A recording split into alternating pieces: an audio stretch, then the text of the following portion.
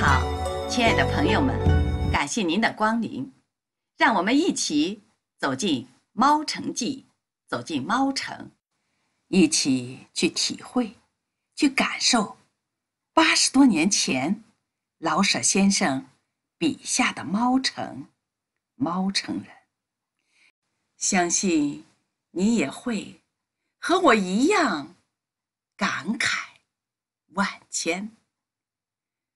为什么猫城里的事儿，猫城里的人就在我们身边，就在我们眼前，我们不得不由衷的感佩老舍先生的洞察力是如此的深刻，不得不感叹。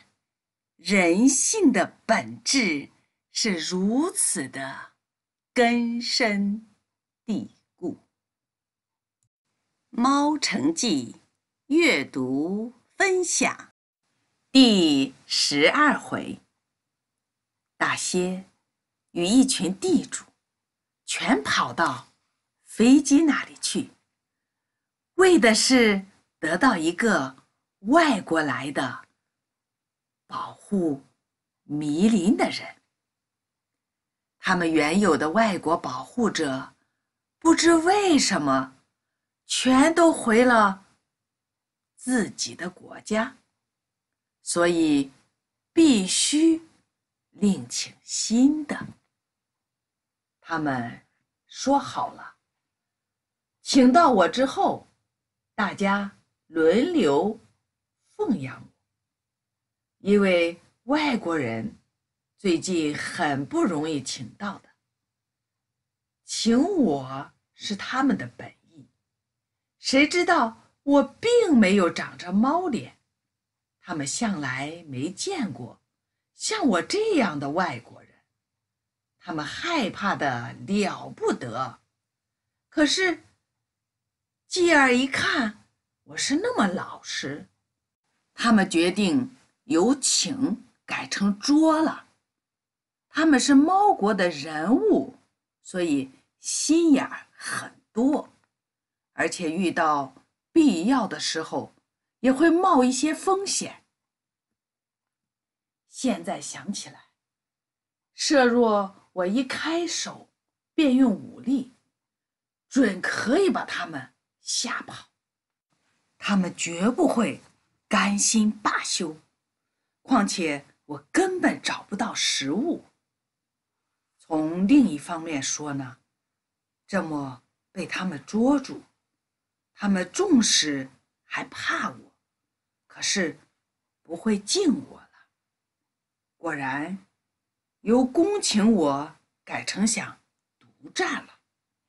大些与那一群地主，全看出便宜来了，捉住我。自然不必在于我讲什么条件，只要供给点吃食便行了。于是大家全变心了。悲约毁誓是自由的一部分。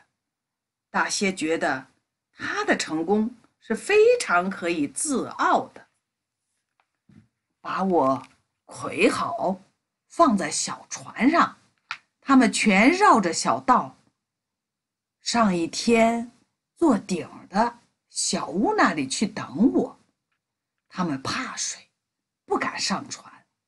设若半路中船翻了，自然只能归罪于我的不幸，与他们没有关系。那个小屋离一片沙地不远，河流到沙地。差不多就干了，船一定会停住不动。把我安置在小屋中，他们便回去吃迷叶。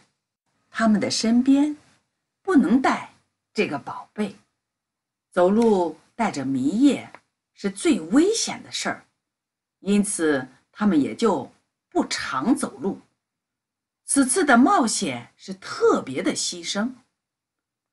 大些的树林离小屋最近，可是也还需要那么大半天才想起去看我。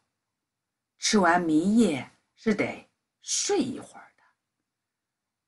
他准知道别人也不会快来的。他到了，别人也到了，这完全出乎他的意料之外。幸而有那艺术，他指着我的手枪，似乎有些感激他。后来，他把不易形容的东西都叫做艺术。我明白了一切，该问他了。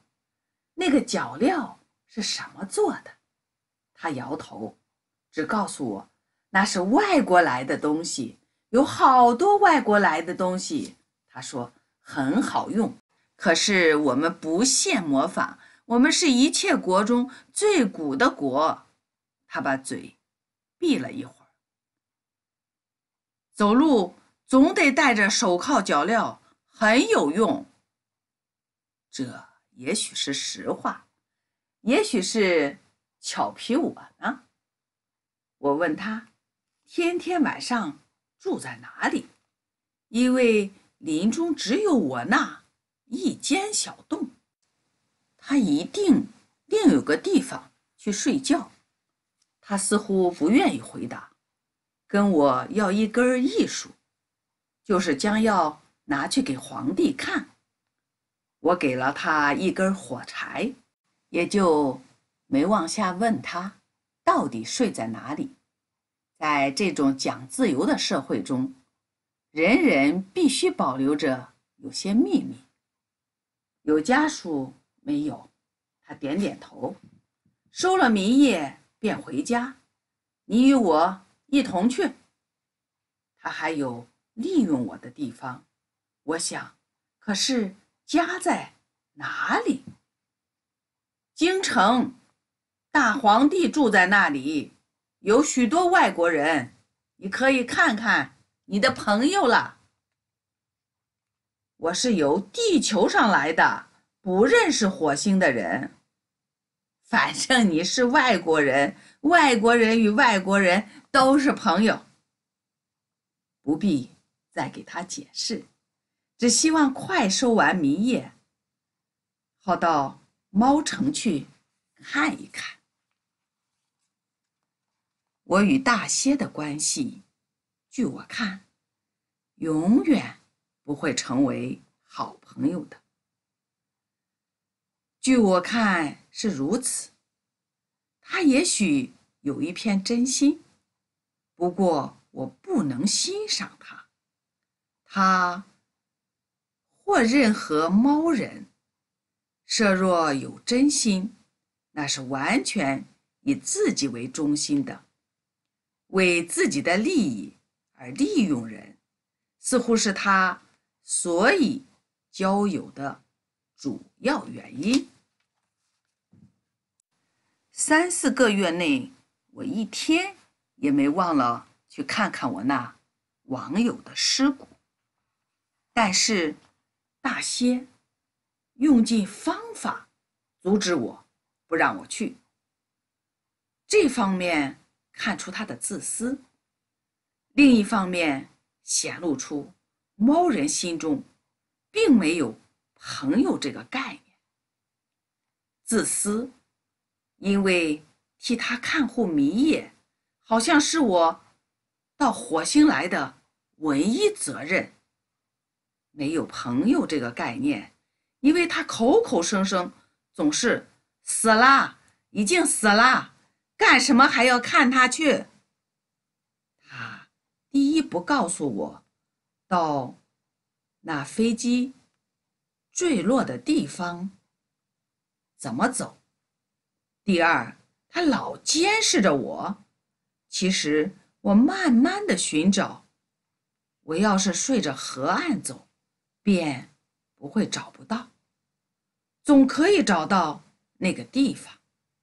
但是每逢我走出迷林，半里以外，他总是从天而降的截住我。截住了我，他并不强迫我回去。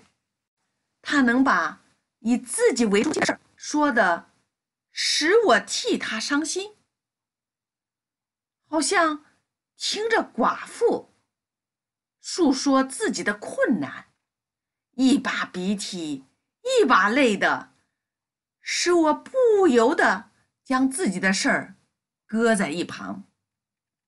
我想。他一定在背地里抿着嘴，暗笑：“我是个傻蛋。”但是这个思想也不能使我心硬了。我几乎要佩服他了。我不完全相信他所说的了，我要自己去看看一切。